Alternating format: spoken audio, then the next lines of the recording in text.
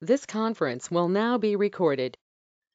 Hey guys, this is Naveen here. Welcome back to Naveen Automation Labs and back to Java JDK uh, 1.8 series.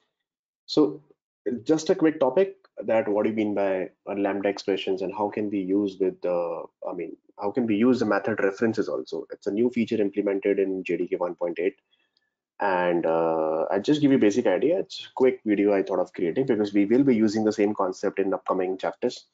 So that time you should not be getting confused. So how to uh, do that?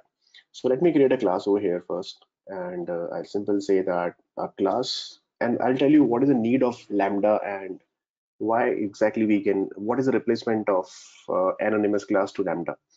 So I simply say lambda uh, lambda expression and uh, we will take one more chapter that is called references one more topic references. Select the main method and click on finish. Now one thing you need to understand that okay there is a, a there is one you search for iterable okay? Let me write can you see that this iterable? You just simply click on it and this interface this okay interface iterable is available and uh, this is having one method that is called for each method. You must be hearing about that okay? For each method that is you can directly apply on a particular list okay? On a particular array list you can apply and it's saying that okay this is will take one consumer over here. And consumer part we have already discussed about it so this is an interface and there are multiple uh, sub interfaces as well as multiple uh, classes are there which are implementing the same iterable. This is not iterator. This is iterable interfaces available. So all the collection classes like if you see priority queue, if you see array list, array deque, abstract set, okay, abstract queue, and if you see uh, let's see linked list also linked hash set, okay, all these guys are vector tree and everybody, okay, uh, they are implementing this particular iterable interface. So you can directly on any kind of collection for all these kind of collection, you can apply this for each method over there. So it's saying perform the given action for each element of the iterable until all elements have been processed. So you don't need to write a for loop or something. Okay. So it will process each and every element of that particular list of that particular collection until all the elements are processed or any exception is coming in between like that okay? So this is the internally the default implementation behave like this internally like this. Okay? So this is a standard way of uh, doing this after uh, typical for loop.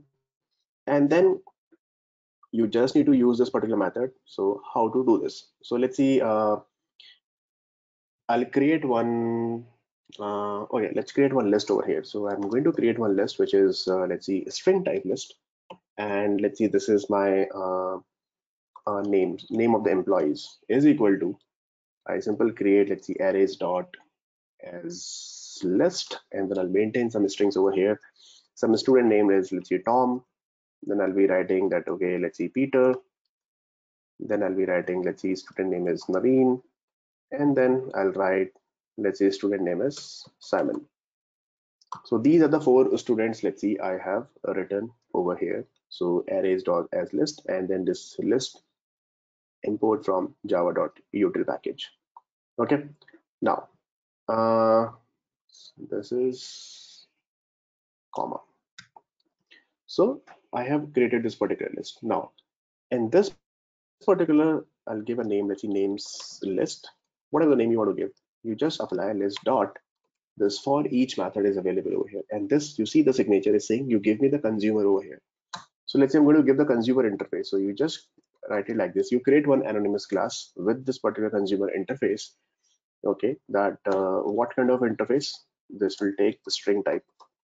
And this is the thing that you have to use it like this. So this will behave like a okay like the overridden class. So this is the concept of anonymous class. So you don't need to create a separate class which is uh, implementing uh, consumer interface. So you can directly write it like this. And what one method is there in consumer okay if you remember right which method that accept method is there so you need to override that particular accept method so that's why it's saying that okay please add unimplemented method because this block from here to here will behave like a class only So don't be confused that, okay, new keyword and consumer as an interface. How can you create the object of interface? No, I'm not going to create the object of interface. This entire block is representing an anonymous class. Okay, so I'll say that, okay, this is the anonymous class. Now, this consumer is saying that, okay, we have one method that is the accept method. We have to implement that. So you have to add the rate override and then you have to implement this particular class. Let me just copy this guy from here to here. Right. And then you simply say that, okay, uh, whatever the t or whatever the variable that you are passing, system dot out println print t. That's it. Okay. And then you run this particular program. So let's see what happens. If you notice the same exact kind of thing we use in fluent wait also. See Tom Peter with this. So you don't need to create any for loop or nothing. Simple for each loop will do that. So this is the first way of doing it. The internal implementation with the anonymous class, you can simply do that. So this is my first concept is that, okay, with anonymous, okay, like this, you can do that, right? Now, the second way, if you really want to make it short, that looks a little lengthy and a little confusing, right? So you can simply use a lambda expression over here okay alternatively. So i simply say that okay i'll replace this entire anonymous concept to lambda expression. So i simply say that okay lambda okay with lambda expression. So how to do that? So lambda is always denoted by remember guys this thing one arrow like this without any space. So one dash and greater than sign. So this is called lambda expression over here now how will you replace that you simply do one thing this is my names list and apply your dot for each once again right? And then for each loop says, okay, you give me a consumer. So I'm just giving a consumer, let's say my str, which is this particular parameter will be given to what? A system dot system.out.println. So what is the definition of consumer? I told you.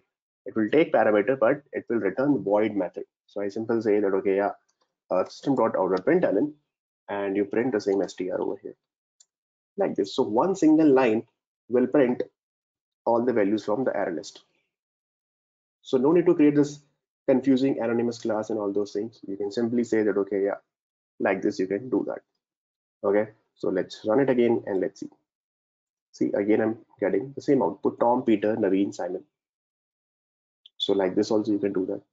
And if you really want to make it more short, so there is the concept is called method references. Okay, so in that case method references you can replace the lambda expression by the method references. Now it will be more easy. Now see the code. It will be super easy now. names list dot for each and you simple write uh, system is a class dot out and then put a colon colon and then give the method reference name over here. Which method you want to use system dot out println and that's it. So this is the concept of method references. And then you run it again and then that's it. See it's printing once again same thing. Right? So like this you can simple do that over here.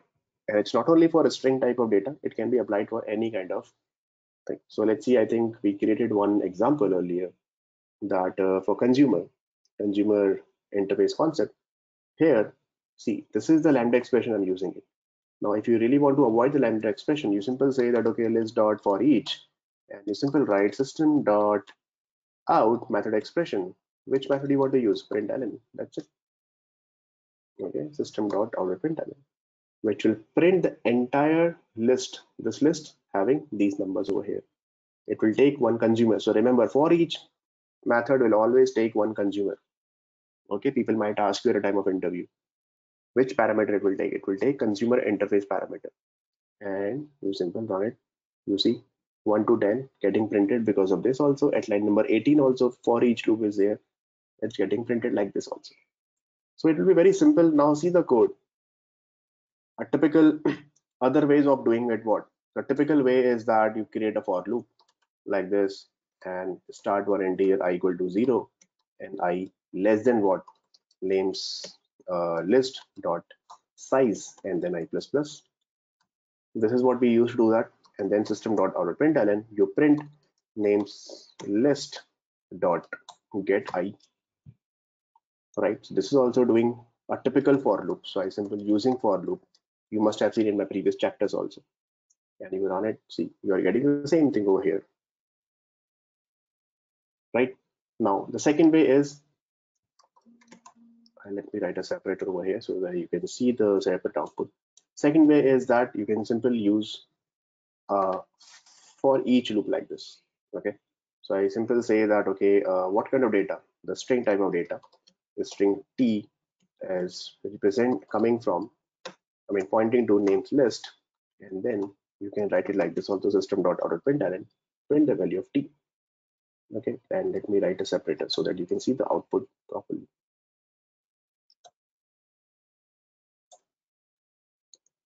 right and for this also. Like this. So run it again and you see for every okay mechanism you are getting the same output but you see that okay this this for loop. No need to write unnecessary a typical for loop. This is the second way that okay you can use simple for each loop like this. And then you can apply anonymous class also. You can do it like this to print a list over here. And then you can use a lambda expression also like this which is coming from jdk 1.8 so these things are coming from jdk 1.8 actually. And then you can use a lambda expression like this.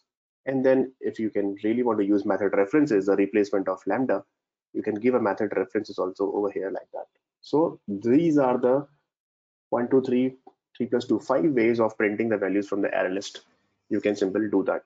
Okay so people might ask you at a time of interview that okay give me uh, what are the different ways of printing the values from collection or array list? You can simply do something like this.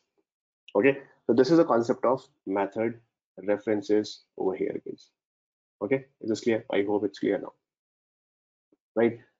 So like this uh, you because these things we might use in upcoming chapters so that's why i thought of uh, you know quickly creating such things so that you will understand better. Because that's why the most of the people they do the mistake that okay they're directly jumping into the uh, you know streaming topic and uh, jdk api 1.8 apis and people are not getting things over there. So that will be more and more confusing for you that okay why we are uh, using it like this. So better guys you understand like this and then only you can understand the further chapters right? So that's all for today guys. Thank you so much for watching this video. Let me know if you have any issues. Thank you so much